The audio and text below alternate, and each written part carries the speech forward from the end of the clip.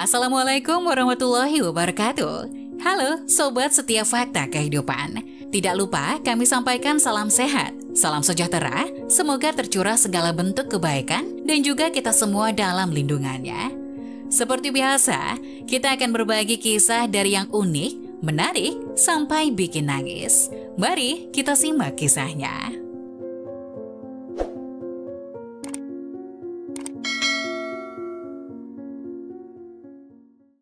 Pulang kerja, istri Syok melihat suami dan babysitter berzina di ranjangnya.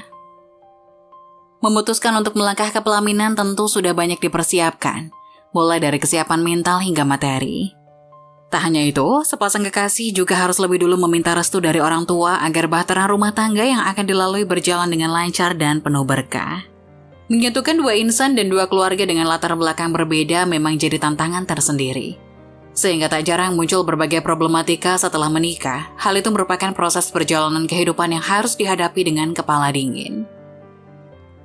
Cerita ini dimulai dengan seorang wanita bernama Sarah yang telah mencapai usia 35 tahun tanpa pernah menikah.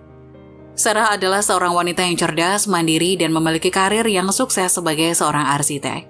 Dia memiliki teman-teman yang baik dan keluarga yang mendukung. Tetapi dalam beberapa tahun terakhir, dia merasa semakin kesepian karena semua temannya sudah menikah dan memiliki keluarga sendiri.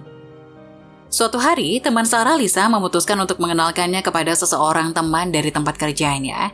Pria itu bernama Daniel, seorang insinyur perangkat lunak yang tampan, cerdas, dan memiliki selera humor yang tinggi. Daniel adalah orang yang ramah dan memiliki kepribadian yang mudah, membuat orang merasa nyaman di sekitarnya. Aku mengenalin kamu ke teman aku. Aku harap kamu bisa menerimanya. Dia pria yang baik, ucap Lisa. Maksud kamu, Ya, maksud aku, aku ingin membantu kamu nyari jodoh. Gila kamu ya, gak mau? Ketemu aja dulu, kalau nggak cocok, baru itu terserah kamu.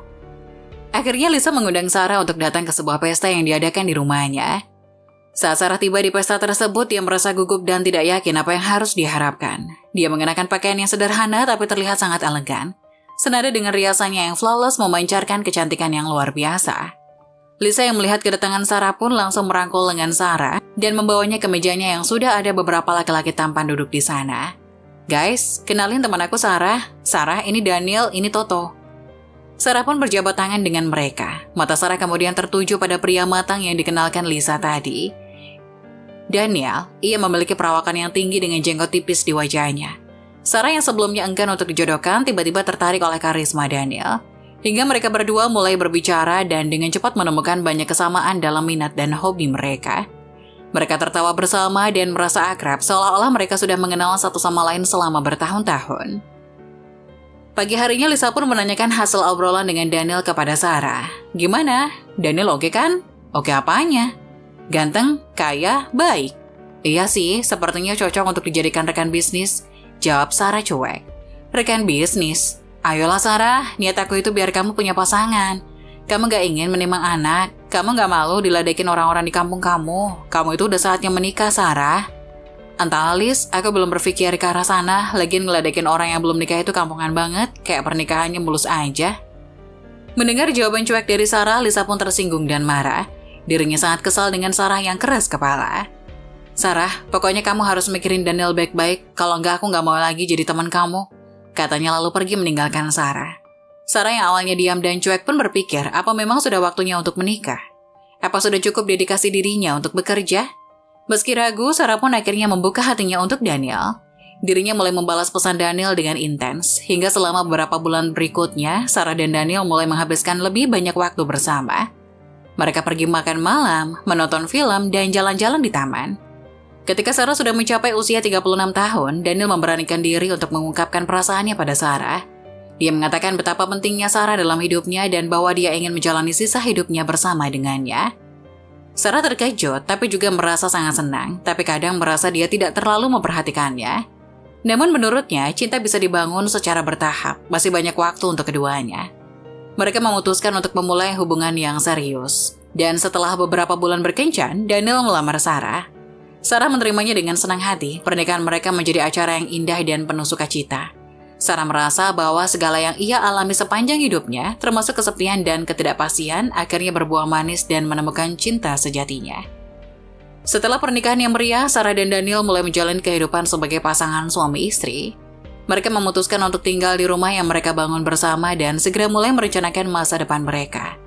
Sarah yang berkarir sebagai seorang arsitek dan Daniel sebagai seorang insinyur perangkat lunak, mereka berdua memiliki pekerjaan yang sibuk. Tetapi mereka selalu mencari waktu untuk bersama-sama. Selama beberapa tahun pertama pernikahan mereka, Sarah dan Daniel menjelajahi dunia bersama. Mereka melakukan perjalanan ke berbagai tempat, mengumpulkan kenangan indah dan semakin memperkuat ikatan di antara mereka. Hubungan mereka tumbuh lebih kuat dengan setiap pengalaman yang mereka bagikan dan mereka selalu mendukung satu sama lain dalam meraih impian dan tujuan mereka. Tidak lama setelah pernikahan, Sarah dan Daniel mulai merencanakan untuk memulai keluarga. Mereka sangat bersemangat untuk menjadi orang tua dan setelah beberapa upaya, akhirnya mereka diberkati dengan berita bahagia bahwa Sarah hamil. Kehadiran bayi pertama mereka menjadi puncak kebahagiaan dalam hidup mereka. Sarah menjalani masa kehamilan dengan penuh kasih sayang dan Daniel selalu ada di sampingnya, mendukung dan merawatnya dengan penuh perhatian. Ketika akhirnya tiba, saatnya mereka menyambut kehadiran putra pertama mereka yang mereka beri nama Ethan. Keluarga kecil mereka menjadi sumber kebahagiaan yang tak tergantikan. Sarah dan Daniel tidak bisa lebih bersyukur. Dengan adanya kehadiran Ethan, Sarah yang masih memiliki tanggung jawab kerja dan Daniel yang sibuk kerja bolak-balik luar kota pun akhirnya memutuskan untuk menyewa babysitter untuk menjaga anaknya. Emma adalah seorang remaja yang cantik dan ramah. Pertama kali mereka memperkenalkan Emma kepada Ethan, anak mereka sangat cepat merasa nyaman dengan kehadirannya. Emma sangat sabar dan penuh perhatian terhadap Ethan, dan mereka sering bermain bersama, membaca buku cerita, dan menjalani berbagai aktivitas yang mendidik bersama-sama. Selain merawat Ethan, Emma juga membantu dengan tugas-tugas rumah tangga kecil seperti membersihkan rumah dan memasak makan malam. Ini memberikan Sarah dan Daniel sedikit lebih banyak waktu bersama sebagai pasangan suami istri yang sangat mereka hargai. Sementara Daniel dan Sarah bekerja keras di tempat kerja, mereka selalu merasa tenang mengetahui bahwa Ethan berada dalam perawatan yang baik dengan Emma. Mereka tahu bahwa Emma selalu akan menjaga keselamatan dan kesejahteraan Ethan dengan baik. Namun, pilihan untuk menyewa Emma sebagai babysitter ternyata menjadi salah satu keputusan terburuk yang Daniel dan Sarah buat. Entah mengapa akhir-akhir ini Sarah merasa jika suaminya berubah, Daniel sudah tidak lagi berangkat ke kantor bersama dengannya atau sekedar mengantarnya, Ditambah, Daniel sering membawa pekerjaannya di rumah dengan alasan di kantor bosan. Jika berangkat kerja pun Daniel selalu berangkat lebih siang dari Sarah. Tapi ia juga pulang lebih cepat dari Sarah. Sarah yang mendapati perilaku aneh Daniel itu pun mulai mencium aroma kecurigaan. Hingga akhirnya ia pun menelusuri perilaku Daniel ke kantor dan teman-temannya termasuk Lisa. Tapi hasil yang didapat adalah Daniel masih aktif bekerja seperti biasanya. Dia tidak memiliki wanita simpanan di luar. Meski agak lega mengetahui hal itu, hal mengganjal yang dirasakan Sarah tak kunjung hilang. Hingga suatu pagi saat sedang sarapan bersama putranya, Sarah baru menyadari bahwa Emma sekarang sudah berbeda dengan Emma yang dulu. Emma yang sekarang memiliki badan yang lebih berisi dan sudah glow up dari pertama kali Sarah melihatnya. Emma, kamu pakai krim apa? Sekarang tambah bersih dan cantik. Eh ibu, iya Emma cuma rajin cuci muka sama krim siang malam kok bu. Oh ya sudah, lanjutin deh biar makin cantik dan cepat dapat jodoh. Digoda oleh Sarah, Emma pun senyum-senyum malu. Atau jangan-jangan kamu udah punya pacar ya? Goda Sarah lagi. Eh, enggak bu, cuma ya gitu. Sarah tidak menaruh curiga apa pun kepada Emma. Ia tahu untuk remaja seusia Emma memang sudah waktunya untuk memiliki pacar. Ia juga tidak ingin Emma telat menikah seperti dirinya yang sampai dijodohkan segala. Ia pun mendukung penuh perjalanan cinta Emma. Setelah sarapan, Sarah pun pamitan kepada suaminya yang sedang ganti baju. Dirinya pamit pergi untuk bekerja. Daniel pun mencium puncak kepala Sarah dengan lembut. Iya, perlakuan Daniel kepada dirinya tidak berubah, tapi hati kecil Sarah merasakan bahwa ada sesuatu yang tidak pas di saat dirinya bersama dengan Daniel. Mobil Sarah pun pergi dari rumah. Emma yang sedang mencuci piring bekas sarapan Sarah dan Ethan tiba-tiba dipeluk dari belakang oleh Daniel. Mendapati hal itu bukannya kabur dan melepas pelukan Daniel, Emma malah berbalik dan membalas pelukan Daniel. Sayang, kamu ngomong apa tadi sama istriku? Tanya Daniel. Katanya aku makin cantik, Pak. Oh iya, kamu memang makin hari makin cantik kok, goda Daniel. Mendapati perlakuan manis dari Daniel, hati Emma pun luluh kemudian mencium pipi Daniel. Daniel yang kaget dengan perlakuan Emma pun langsung membopong tubuh kecil Emma dan membawanya ke kamarnya dengan Sarah. Hingga terjadilah hubungan terlarang di kamar itu. Emma meninggalkan Ethan di kursi anaknya yang tidak mereka berdua sadari adalah Ethan mulai aktif bergerak. Tangan kecilnya mencoba meraih mainan yang berada di atas meja hingga kursi yang diduduki Ethan pun terjungkal membuat Ethan terjatuh. Dari dalam kamar, Emma mendengar suara tangisan Ethan pun langsung bangun dan berlari. Jiwa babysitternya bangkit setelah mendengar tangisan Ethan, tapi yang ia tidak sadari adalah ia keluar dalam keadaan tidak berpakaian sama sekali. Ethan yang menangis pun diangkat oleh Emma. Begitu tangis Ethan berhenti, Emma pun tersenyum. Hingga tiba-tiba pintu rumah mereka terbuka, masuklah Sarah ke rumahnya karena ada berkas yang tertinggal. Sarah sangat kaget melihat Emma yang tidak memakai baju dan menggendong Ethan anaknya. Emma, apa yang kamu lakukan? Ke mana bajumu? Tanya Sarah. Emma yang baru sadar dirinya tidak mengenakan selai pakaian pun kaget. Dirinya lupa untuk memakai kembali bajunya yang tertinggal di kamar Sarah. Hingga muncullah suara laki-laki yang tidak asing bagi Sarah keluar dengan keadaan hanya mengenakan handuk saja. Sayang, kenapa lama banget sih nenangin Ethannya? Aku menunggu lo di kamar, kata Daniel. Daniel baru sadar ada Sarah di depannya pun gelagapan. Ia tak tahu harus bagaimana lagi. Dirinya tertangkap basah sedang bermain api di belakangnya. Parahnya lagi ia bermain api dengan babysitter anaknya. Daniel, apa yang kalian lakukan? Tanya Sarah mencerit. Sarah, kenapa kamu pulang? Maksudku, ini nggak seperti yang kamu pikirin, Sarah. Aku sedang mandi dan mendengar Ethan menangis. Elak Daniel. Sarah yang tak percaya dengan perkataan Daniel pun langsung berjalan masuk ke kamarnya dan mendapati pakaian Emma dan suaminya tergeletak di lantai. Ini apa mas? Apa maksudnya ini? Jadi selama ini kamu selingkuh dengan Emma? Tega sekali kamu mas. Sarah mulai meneteskan air mata. Melihat Sarah menangis, Daniel mulai sadar bahwa ia sudah menyakiti hati istrinya. Ia pun menyuruh Emma untuk berpakaian terlebih dahulu. Hingga akhirnya keduanya disidang di ruang tamu. Sudah sejak kapan kamu melakukan ini, Mas? Maafin aku, Sarah. Kamu gak mau jawab? Oke, aku akan tanya sama Emma. Emma, sudah sejak kapan kamu digauli oleh suamiku? Sudah lebih dari tiga bulan, Bu. Astaga.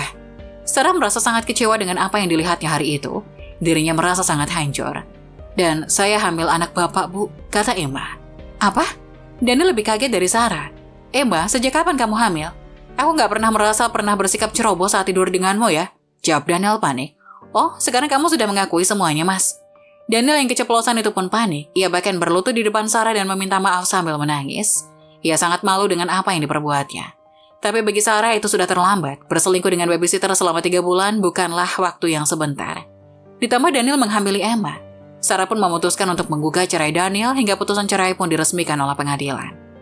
Beberapa bulan kemudian setelah perceraian Sarah, Lisa merasa sangat menyesal telah mengenalkan dan memaksa Sarah untuk menerima Daniel. Lisa menangis sambil meminta maaf kepada sahabatnya itu, tapi bagaimanapun Sarah tahu bahwa sahabatnya itu hanya ingin membantunya. Sarah juga tidak marah kepada Lisa, tapi tetap saja Lisa merasa bersalah pada Sarah. Hingga akhirnya kontrak kerjasama dan investasi perusahaan Lisa kepada Daniel pun dihentikan secara sepihak. Daniel yang mendengar kabar itu pun langsung lemas seketika dirinya bangkrut. Ia harus menutup perusahaan kecilnya dan mengganti rugi uang perusahaan dan juga gaji karyawan.